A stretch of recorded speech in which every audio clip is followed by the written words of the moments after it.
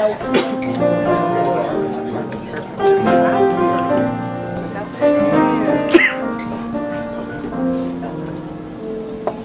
starts with some words, or just a few notes, and maybe a rhyme or two.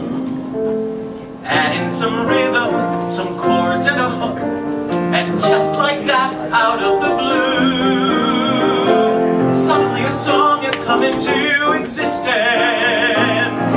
Suddenly a song where there was none before,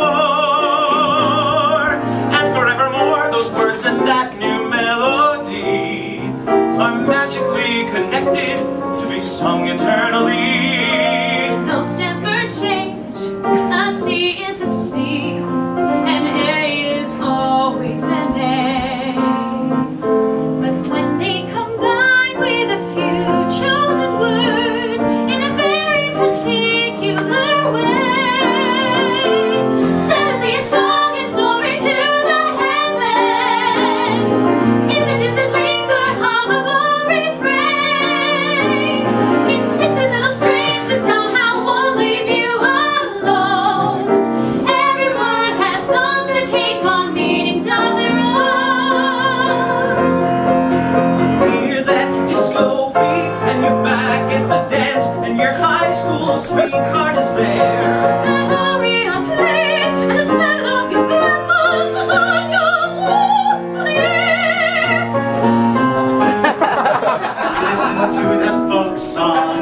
And you're instantly transported to a beach in Malibu.